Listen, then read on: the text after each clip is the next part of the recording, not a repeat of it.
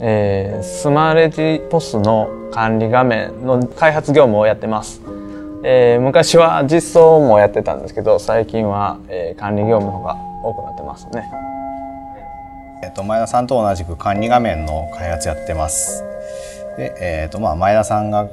えー、開発の実装の方を離れた分、まあ、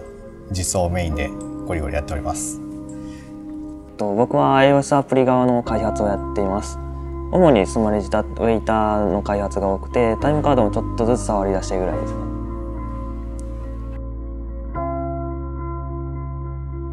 えー、僕は Windows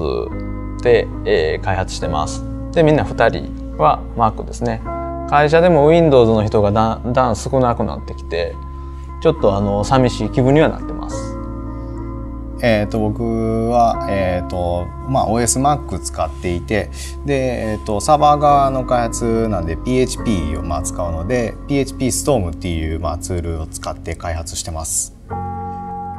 あ僕はあの iOS アプリの開発なんでもう Mac と X コードもうほぼ固定でやってますね大体は Objective-C で、えっと、今タイムカードアプリの方が、えっと、Swift に移行しつつある感じですね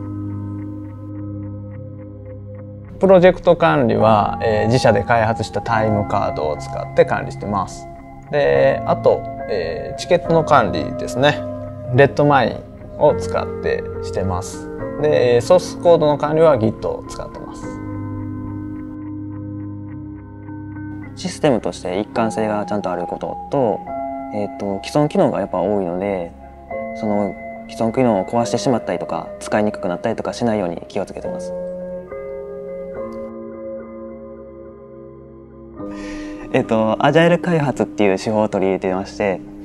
えー、機能を小分けにリリースして適宜あのユーザーからのフィードバックを取り入れることであのユーザーの要望と乖離が大きくならないように小さくするようにしてます。えー、以前の会社よりも、えー、作るものを決めてから、えー、開発してリリースするまでのスピードが速いと思います。開発当初はえー、とにかく売れるものをっていうふうにがむしゃらに作ってきたんですけどもそうやって作ってきたものが、えー、使ってるユーザーが増えていくのを見ると感慨深いものがあります。ちょっと旅行先で行ったところ行って、まあ、訪れた店がたまたまスマレジを使っていて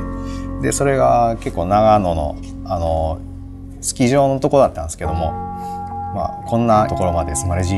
使ってくれる人がいるんだなっていうのはちょっと見て感動しました。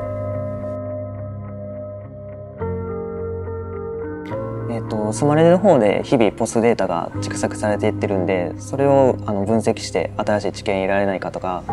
えーと、最近 AI とかディープラーニングっていうのが、えーと、流行ってはいるんでそれを活用してサービスになんか活かせて活かせないかっていうのをあの研究開発を進めています、ね。単純に仕事する環境で言えば、まあ、僕のチームがっていうところなんですけどだいぶといろいろ任せてもらえるっていう感じがあってこっちから言ったことをなんかそれなりに取り入れてくれるんで仕事はやりやすいかなと思いますね。会社入って当初全然人がいない中から僕はいてたので、えー、結構今人が増えてきた中でこう人を管理するところとかすごくえー、まあ伸びたんだろうなと思ってます。自分の中の成長ですね、はい、実際にお店行ったらレジをまあスマレジ導入店とかまあ結構ある最近増えてきているので、まあ、そういう使ってるところを見るとやっぱり作ったものを使ってもらえてるっていうのはモチベーション上がりますね。野望とかなんかそんな大きいものは特にないんですけどもともと技術好きでだから、えっと、勉強とかも好きなんでそうですねあのデータサイエンスのチームでも今勉強をだいぶとメインでいろいろやらせてもらってるんでそういうのをちょっと進めていきたいなっていうのとそのスマレジのアプリの開発の方では、まあ、大きいものはあんまないんですけど細々としたものがたくさんあるんでそれを順番に淡々と進めていきたいなっていう感じですね。先ほどデータサイエンスの話の中でもあったんですが AI とかディープラーニング最近流行ってるんでその辺りを入れていけたらなと思ってます。例えばスマレジが喋り出すとか。えレレジと喋るんですか？レジと喋る。業務中にですか？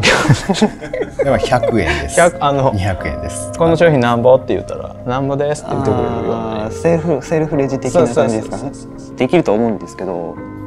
優先度低くないですかっていう、ええ低いです。遠い未来ですけどね。あのやってみたいなと思ってます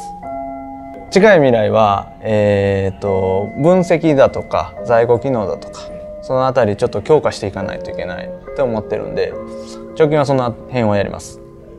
でその次に喋るようにします、ごめんな。夢と野望やったんでいや大丈夫です。なんかイメージができなかっただけなんで。